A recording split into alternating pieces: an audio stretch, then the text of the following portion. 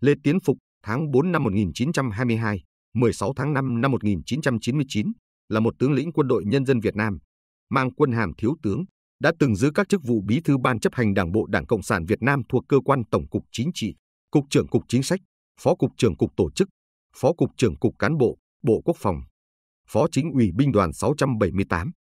Xuất thân Lê Tiến Phục tên khai sinh là Lê Mạnh Phược, sinh tháng 4 năm 1922 tại xã Mỹ Thuận, huyện Mỹ Lộc, tỉnh Nam Định, trong một gia đình nho gia uyên Bắc và có truyền thống yêu nước. Ngoài ra ông còn có họ với Trung tướng Đỗ Mạnh Đạo, nguyên Phó Tư lệnh Chính trị Quân khu 3. Tiểu sử, năm 1933, lúc 11 tuổi ông ra Hà Nội với ông cả tuất làm thợ. Năm 1939, ông tham gia vào hội ái hữu thờ mộc ở các xưởng thờ số nhà 22,24, 26, 25 phố Lò Sú Hà Nội cùng với Hà Kế Tấn, Bùi Giản, Vũ Biểu, Đỗ Khương, Đỗ Đạt, Đỗ Giới, vận động thợ thuyền tham gia các cuộc biểu tình, đình công đòi tăng lương. Tháng 12 năm 1940, ông được Đỗ Đạt, Vũ Biểu tổ chức kết nạp vào Đảng Cộng sản Việt Nam.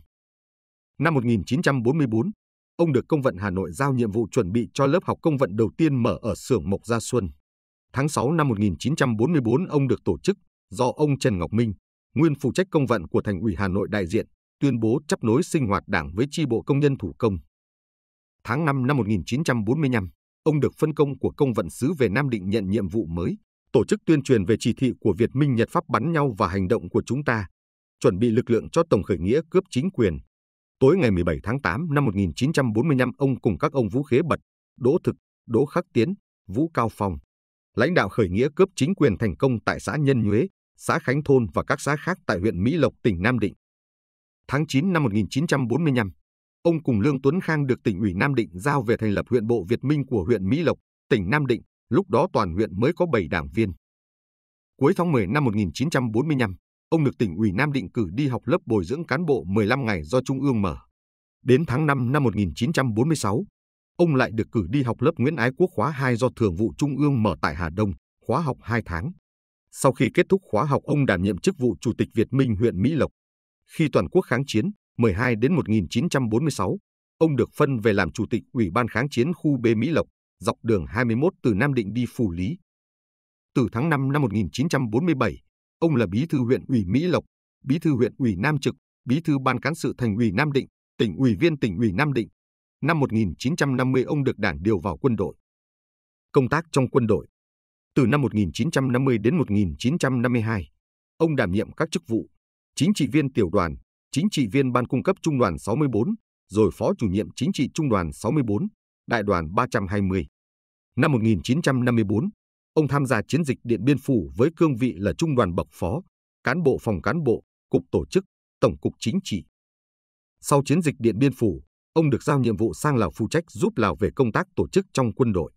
Tháng 8 năm 1954, ông là chủ nhiệm chính trị đoàn 100, đoàn cố vấn quân sự Việt Nam tại Lào, tư lệnh lúc đó là Chu Huy Mân. Đồng chí Lê Tiến Phục, thứ hai từ trái sang, tại buổi họp mặt của quân ủy Trung ương với đại biểu gia đình liệt sĩ, gia đình quân nhân, anh chị em thương binh ưu tú, ngày 25 tháng 8 năm 1968. Từ năm 1956, ông lần lượt được giao giữ chức chính ủy, bí thư đoàn ủy đoàn 40, chủ nhiệm chính trị sư đoàn 469, quyền bí thư sư đoàn ủy, chính ủy lữ đoàn 374, bí thư lữ đoàn ủy, đảng ủy viên đại đoàn 351, chủ nhiệm chính trị, đảng ủy viên đoàn 959. Từ tháng 7 năm 1963, ông là phó cục trưởng cục tổ chức, phó cục trưởng cục cán bộ, phó bí thư ban chấp hành đảng bộ cơ quan tổng cục chính trị. Tháng 11 năm 1967 ông giữ chức vụ cục trưởng cục chính sách, bí thư ban chấp hành đảng bộ cơ quan tổng cục chính trị. Tháng 11 năm 1978, ông là phó chính ủy binh đoàn 678, thượng tướng Trần Văn Quang lúc đó là tư lệnh. Tháng 4 năm 1982, ông lại được điều về làm cục trưởng cục chính sách, Bộ Quốc phòng. Tháng 9 năm 1985, do sức khỏe ông chuyển làm chuyên viên cho cục trưởng. Từ tháng 5 năm 1988, ông nghỉ dưỡng bệnh. Năm 1958, ông Lê Tiến Phục được phong quân hàm trung tá. Năm 1960, thăng quân hàm thượng tá. Năm 1973, thăng quân hàm đại tá. Năm 1983 thăng quân hàm thiếu tướng. Ông mất tại Hà Nội ngày 16 tháng 5 năm 1999. Trên cương vị cục trưởng đầu tiên của Cục Chính sách Quân đội Nhân dân Việt Nam. Khi cuộc kháng chiến chống Mỹ cứu nước bước vào thời kỳ quyết liệt, công tác chính sách với quân đội và hậu phương quân đội đặt ra với một khối lượng rất lớn, tính chất khó khăn phức tạp cả ở tiền tuyến và hậu phương. Trước tình hình đó, ngày 21 tháng 11 năm 1967 Bộ Quốc phòng quyết định thành lập Cục Chính sách trực thuộc Tổng cục Chính trị. Đang là cục phó cục tổ chức Tổng cục Chính trị ông được bổ nhiệm giữ chức Cục trưởng Cục Chính sách. Suốt trong nhiều năm, được sự chỉ đạo của cấp trên, Cục Chính sách với sự chỉ huy của Cục trưởng Lê Tiến Phục đã tích cực triển khai đồng bộ và thu được nhiều kết quả.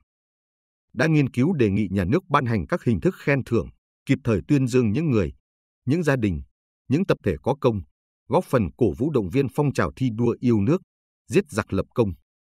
Chỉ đạo giải quyết công tác thương binh, liệt sĩ trong chiến đấu ở chiến trường. Tổ chức tuyến chuyển thương đưa hàng vạn thương binh từ các chiến trường về hậu phương lớn. Thành lập hơn 20 đoàn điều dưỡng thương binh ở miền Bắc. Kịp thời giải quyết chính sách phục viên, chuyển ngành cho hàng chục vạn thương binh đã lành vết thương, ổn định sức khỏe, nhưng không còn khả năng tiếp tục phục vụ trong quân đội. Chỉ đạo việc xác minh, kết luận để báo tử và giải quyết kịp thời quyền lợi gia đình liệt sĩ đối với hàng chục vạn quân nhân hy sinh trong chiến đấu ở các chiến trường. Chỉ đạo cơ quan quân sự các địa phương thực hiện chính sách quản lý và chăm sóc gia đình có quân nhân đi chiến đấu. Thời điểm đó, tổng số toàn miền Bắc có 53 vạn gia đình có người thân đi chiến đấu ở chiến trường miền Nam, với 1,6 triệu thân nhân hưởng trợ cấp B hàng tháng.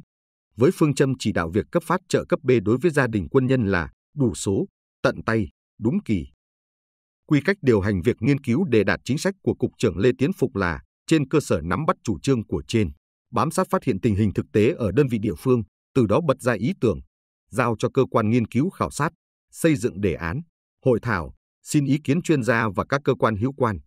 Sau đó tổng hợp hoàn chỉnh thành tờ trình báo cáo lên cấp trên xem xét quyết định. Với các nội dung chính sách đã ban hành thì tổ chức phổ biến, chỉ đạo hướng dẫn chung, đồng thời theo dõi một vài trọng điểm để kịp thời rút kinh nghiệm chỉ đạo. Bao giờ cũng vậy, ông coi việc kiểm tra thực hiện chính sách ở các cấp, ở các khâu là một việc làm không thể thiếu của cơ quan chiến lược. Quy cách đó trên thực tế đã đem lại hiệu quả tốt. Có thể khẳng định rằng, trong nhiều năm, công tác chính sách đạt được rất nhiều kết quả, có ý nghĩa chính trị xã hội sâu sắc, góp phần cổ vũ động viên tiền tuyến, ổn định hậu phương, đóng góp rất xứng đáng vào sự nghiệp chiến đấu và chiến thắng của quân đội. Trong thành tích chung của cục, của ngành, có vai trò của cục trưởng Lê Tiến Phục trong nghiên cứu đề đạt nội dung chính sách cũng như trong chỉ đạo tổ chức thực hiện chính sách. Ngoài điều hành công việc ở cơ quan, ông đã dành nhiều thời gian xuống các địa phương, bám cơ sở, thâm nhập sâu sát các đối tượng chính sách để nắm chắc tình hình thực tiễn. Có lần trên đường đi công tác ở tuyến lửa khu 4, xe ô tô của ông bị máy bay Mỹ ném bom rất gần. Sức ép chấn động mạnh hất ông bật khỏi xe, bị ngất. Lúc đó anh Nguyễn Đức Lạc chiến sĩ công vụ đã cõng ông vượt qua nguy hiểm. Trong 10 năm liền, Ông làm bí thư đảng ủy cơ quan tổng cục chính trị, vừa đảm nhiệm cục trưởng cục chính sách vừa đảm nhiệm bí thư đảng ủy cơ quan tổng cục. Với ông, có thể nói là một khối lượng công việc lớn. Vinh danh, huân chương độc lập hạng nhất, hai huân chương quân công hạng nhất và hạng ba, huân chương kháng chiến chống Mỹ cứu nước hạng nhất, huân chương kháng chiến hạng nhì, huân chương chiến thắng hạng nhì, huân chương chiến công hạng nhì, ba huân chương chiến sĩ vẻ vang hạng nhất, nhì, ba, huy chương quân kỳ quyết thắng, huy hiệu 50 năm tuổi Đảng Cộng sản Việt Nam, huân chương Isala hạng nhất của Cộng hòa Dân chủ Nhân dân Lào. Năm 2014, tên ông được đặt cho một tuyến phố trong khu đô thị mới thống nhất, phường thống nhất, thành phố Nam Định. Gia đình. Ông Lê Tiến Phục kết hôn với người vợ đầu của mình là bà Mai Thị Sử, sinh năm 1925 mất năm 1949, khi ông còn hoạt động cách mạng tại tỉnh Nam Định. Trong một lần đưa người nhà đi chữa bệnh bà Sửu bị chết đuối. Vợ thứ hai của ông là bà Trần Thị Tư, tức Trần Thị Đoàn sinh năm 1926 mất năm 1996, Chủ tịch Ủy ban Hành chính thành phố Nam Định trong giai đoạn 1966 đến 1971. Ông bà kết hôn vào năm 1952, có 6 người con, cả 6 người đều đã từng tham gia quân đội. Con gái cả của ông bà là tiến sĩ, bác sĩ chuyên khoa 2, thầy thuốc nhân dân Lê Thị Hòa Bình. Con rể cả của ông bà, chồng bác sĩ Lê Thị Hòa Bình, là giáo sư, tiến sĩ Nguyễn Thiện Nhân, Ủy viên Bộ Chính trị Ban chấp hành Trung ương Đảng Cộng sản Việt Nam, Bí thư Thành ủy Thành phố Hồ Chí Minh, nguyên Chủ tịch Ủy ban Trung ương Mặt trận Tổ quốc Việt Nam. Đại tá, tiến sĩ Lê Tiến Hải, con trai thiếu tướng Lê Tiến Phục, người đang thông tin về gia đình, do lâm bệnh, đã từ trần ngày 15 tháng 4 năm 2017.